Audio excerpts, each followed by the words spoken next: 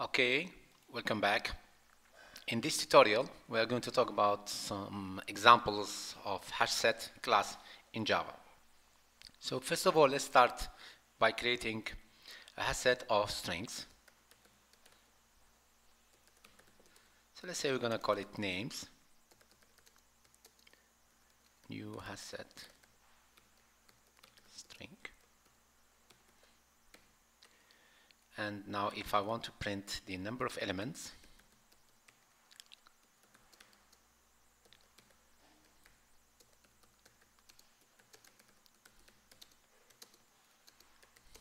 names dot size. Okay. So as you can see the number of elements is zero.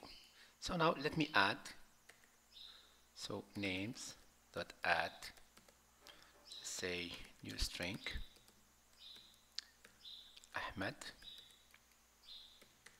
And let me I keep printing the number of elements and the, the set itself. After each addition. So we have number of elements is 1 and Ahmed. And of course is the first element in the hash set so let me add a new one. Let's say Khalid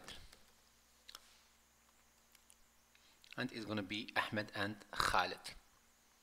Of course, Khalid is added at position number 2 for some reasons that will become clear in few minutes. So, Fahad, and then, so, Ahmed, Khalid and Fahad. Let me add another fourth one, Ali. Now Ali is becoming the last one. Then let me add Badr.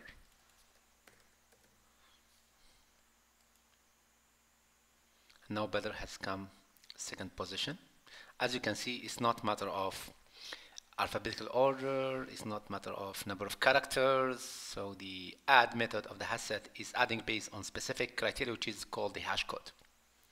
Okay so let me add now a repeated one. For example let me add Ahmed again and as we'll see it will not add Ahmed. Why? Because hash set does not accept repeated. It's a set, so it does not accept repeated element. It's unsorted, unordered set, and it doesn't accept repeated elements. So if you want to make sure that this is what happened, so add will return a boolean, so flag, the add flag. So it will tell me what happened. So I will say if this is false, if add flag is false, that means I was not able to add. Okay, sorry, false. System.out println last addition not allowed. It's already there. It's already there okay so of course in this case to make sure that this would get printed. So as you can see, the f is false because it was not able to add because it's repeated elements. So it's still number five, five elements. Okay. So this add is quite peculiar when it's adding because it will add based on the hash code of the object being added. So because it's a string, so we can have hash code for each. If you want to know the hash code of all those things that we have added so just to println hash code of for example let's say Ahmed is equal to Ahmed dot hash code if you want to know the hash code of Ali so let's see the order so Ahmed and then Badr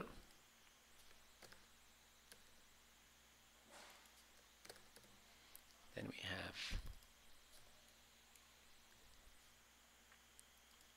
Khalid.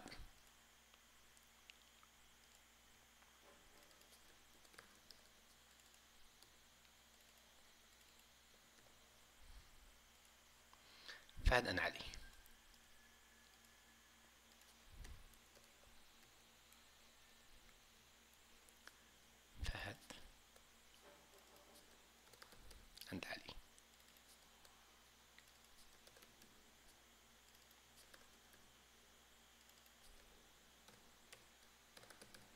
Okay, so let's see the hash code.